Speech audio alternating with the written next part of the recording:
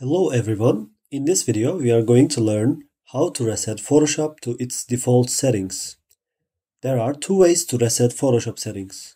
Let's start with the first one. Let's open the Photoshop, then go to the Edit tab, then go to the Preferences, then go to the General and click it.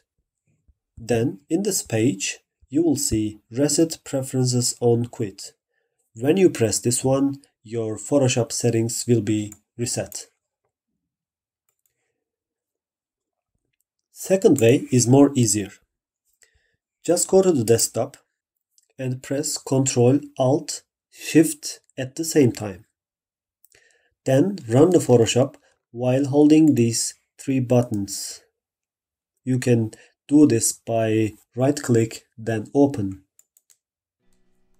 By this way, Photoshop will ask you to delete the Photoshop settings and when you click yes your Photoshop will be reset.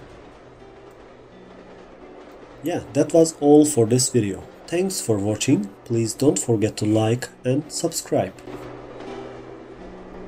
This is a journey into sound. A journey which along the way will bring to you new color, new dimension, new value.